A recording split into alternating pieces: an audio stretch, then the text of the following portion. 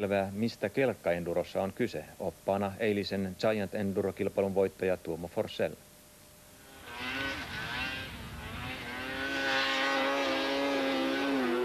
Ammattimiehen käsissä moottorikelkkailu näyttää helpolta, mutta ensikertalaisen kannattaa lähteä leikkiin opettajan avustuksella.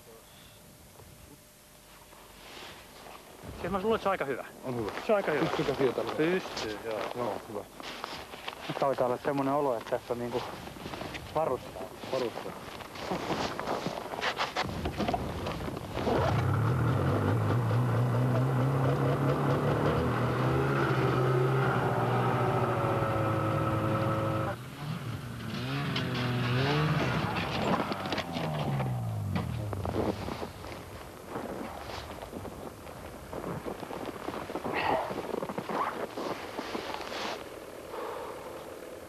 Tarkoitus on, että mä tuun suoraan aika kovaa. Joo. Jarrutan vähän.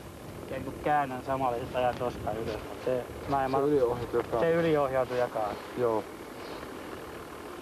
Leikit niinku pikkulapsi tossa vaan. Joo, Painat jarru ja kaasu ja pyörittelet tässä kato, niin sit- sitä se kaksi mihinkä ja niinku itses painoit sinne siitä. Aivan näkee vähän, se... Tutottelu sinne. Aivan.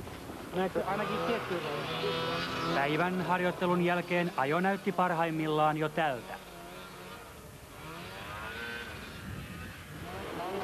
Kovempaankin menoon löytyy eväitä sillä kilpailukäyttöön soveltuvaa tuotantokelkkaa liikuttaa lähes sadan hevosvoiman moottori.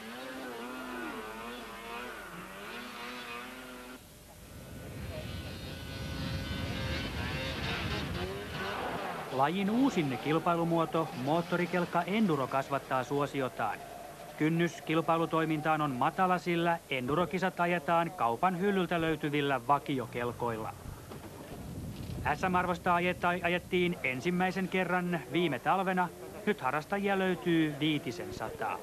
No kyllä se aluksi ehkä, ehkä silloin kun aloitti ja, ja koitti aina miltä se tuntuu, kun ajaa kahvat pohjassa, niin silloin se ehkä pelotti, mutta ei se enää pelota. Sitä osaa nauttia siitä pelosta. Ensikertalaista vauhti pelotti niin, että uran avauskilpailuun piti lähteä muun joukon edellä nollakelkkana. Kilpailussa lähtö tapahtuu minuutin välein. Kilpailu koostuu erikoiskokeista ja siirtymätaipaleista rallin tapaan.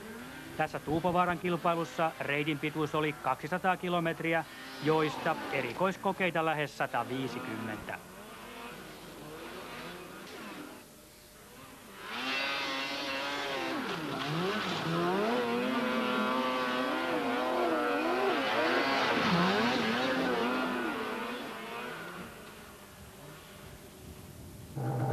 Se laittoi väärän ajan tuolla, kun se jatkaa, kun tää käyttää sitä taulua väärinpäin. Tämä on peru. Tosta laskettua saada. Ei tätä pätkää tarvitse perua, jos saa. Niin, mutta tämähän on siirtymää jo. Olin tuolla 20 minuuttia kiinni. Tuolla olin metsässä kiinni. Ei siinä ollut vauhissa, kun no kurvit on hirveän jäisiä. Ja tota, siinä, siinä oli tota raivattu semmonen iso kanto, niin joudun jarruttamaan, että nyt sen yli ajasi. Oli nostettu niin sieltä metsästä. Ja tota, jäi sukset siihen, niin sitten se jauhalti sinne. Meni vähän ranne perkele tunnottomaksi. Kyllähän me täysillä täällä lopun veja, että Tää on tosi mukavaa tiedätkö, että kyllä nyt menee hyvin. Saadaan menee. Kilpailu ajetaan tarkoitukseen varatulla reitillä, tietysti maanomistajien luvalla.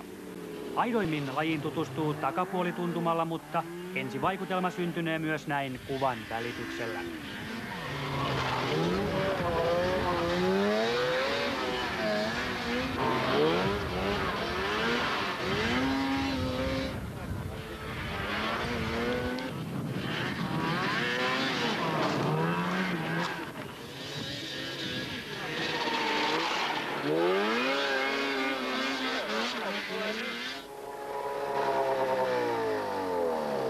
No niin, reissu on tehty.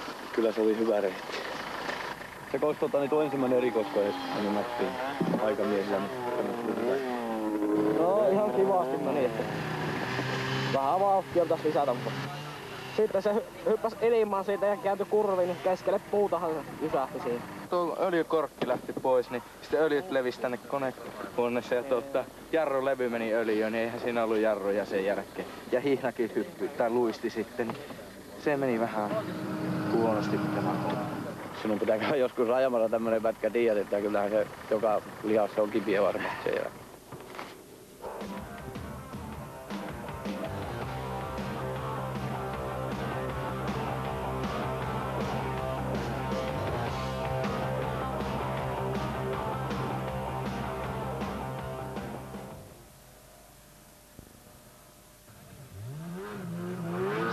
kisatytöilläkin ihmettelemistä, kun yksi kilpailun ennakkosuosikeista, Tuomo Forsell,